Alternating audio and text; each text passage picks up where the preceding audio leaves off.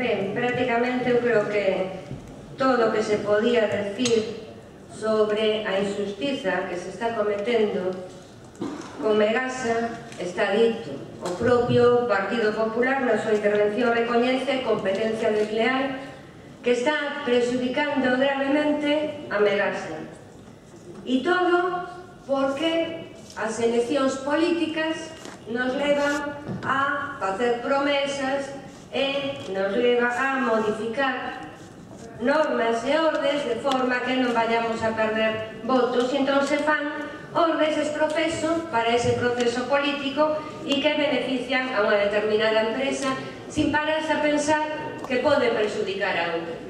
E ahora nos topamos con que si é certo cunha responsabilidade do Estado, pero igual que a Xunta presionou para favorecer a foro En este momento a Xunta ten que presionar para que unha empresa galega como Megasa non se vexa abocada ao seu peche este verano.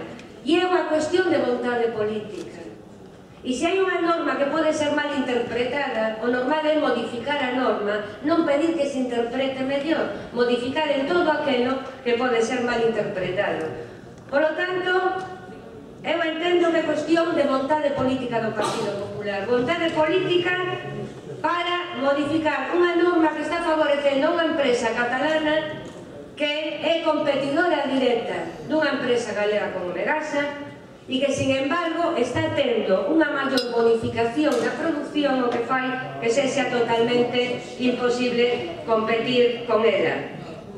Pero que, ademais, nun que produce enerxía, que é excedente de enerxía a unha empresa que está en Cataluña que é deficitaria de enerxía, a donde non exportamos. Inda por riba de que nos aportamos enerxía co deterioro do noso medio ambiente, o deterioro dos nosos ríos, o deterioro da nosa paisaxe, resulta que a nós nos sale máis cara a enerxía que aqueles que nos importan enerxía. E iso é unha responsabilidade do goberno É unha responsabilidade do goberno do Estado, pero tamén é unha responsabilidade do goberno da Xunta, porque vostedes gobernan neste país para favorecer as empresas deste país E despois de moito prometer e de moito decir aquí das empresas galegas, da potenciación das PEMES, que as PEMES sempre salvaron a este país, que a empresa galega se potenciara, por outro lado, legislan en contra dos intereses das empresas galegas.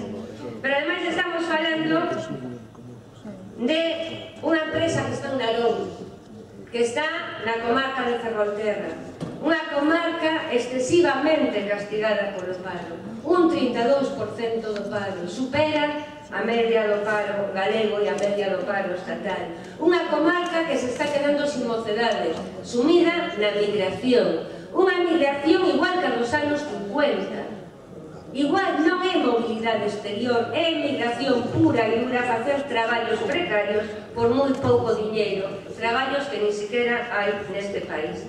De seguir así, Ferrolterra desaparecerá. Desaparecerá porque o Partido Popular a condena a desaparecer. Eu quero dar lectura brevemente a algo que aparece hoxe na voz de Galicia. Dice Ferrol, a Lucas se véndese. Camiñando polas rúas da cidade galega de ilustración non hai onde descansar a vista. Se alquila, se vende, se vende, se alquila, aluga, se liquidamos. Manifestacións contra a contaminación da ría, contra o peche de Megasa, contra a contaminación por áridos. Se vende, se liquida, se pecha. Ferrol se pecha. Se pecha coa vontade política e por decisión do Partido Popular. Por eso, é responsabilidade de cada un de vostedes.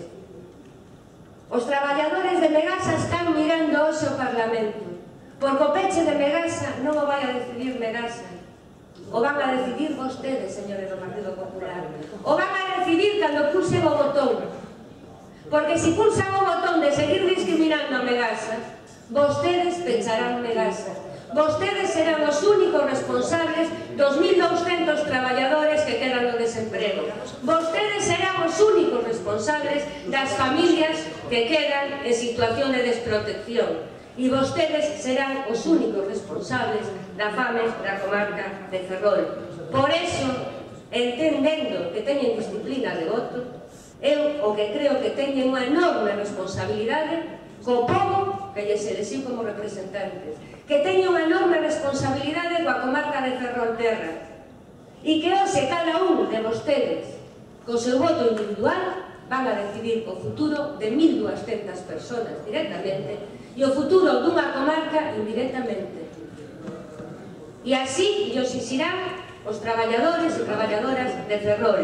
En concreto, e dito por eles, o señor Tellano e o señor Fariñas que lle prometeron que iban a apoiar a modificación para que Megasa non tivera que pechar por competencia desleal provocada polo goberno da Xunta de Galiza para apoiar empresas foráneas tanto de capital estranxeiro como capital catalán. Moitas gracias.